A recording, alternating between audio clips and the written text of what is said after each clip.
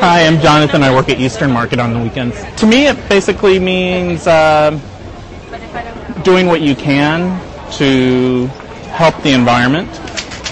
And in a way, it almost um, means going back to the way I grew up on a farm in Kansas, to the way my parents grew up. Um, just, you know, making smart decisions.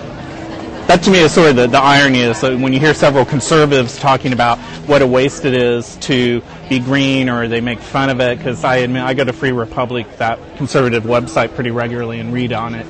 Um, and, you know, they'll make fun of almost any effort anyone makes on conservation. I'm just thinking, you know, but when my parents were growing up in World War II, they were basically doing everything that, you know, they're telling us to do now. Don't throw things away, reuse.